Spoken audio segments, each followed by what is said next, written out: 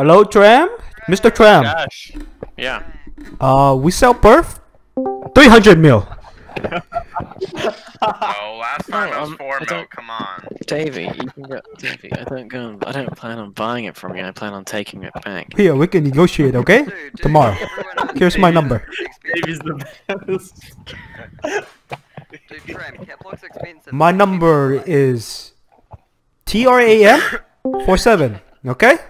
You got my number, okay? Like, you should hire Pyre. Call me tomorrow. Hey, uh, We can start uh, negotiating, okay? Okay, we talk tomorrow. Goodbye, Mr. Tram.